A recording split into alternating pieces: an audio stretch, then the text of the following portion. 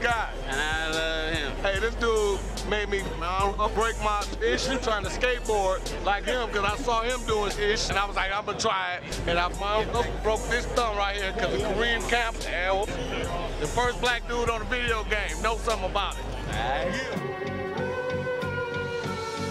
It's a brave new world. This generation faced 2012 and the war between God and hell. And we're still sent to rot in jails. We're in a post revelation era. Attempts to stop it failed. A serpent smiles from behind the veil. Streets are ready for a revolution. That's why my rhymes prevail. I'm in a city where the lions dwell. Roaming packs like sick dogs, but most of them dying cells.